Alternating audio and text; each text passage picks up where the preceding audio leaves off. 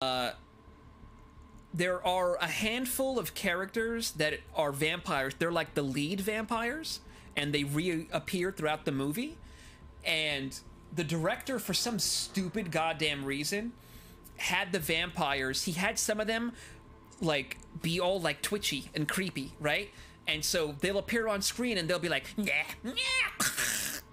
and it's like, ugh. it's awful. Like it's really bad. Like you don't have to have your vampires be all cool and quiet and like leather jacket, trench coat, you know, mm, yeah, cigarette smoking, whatever. They don't need to do that. But they also don't need to be that stupid.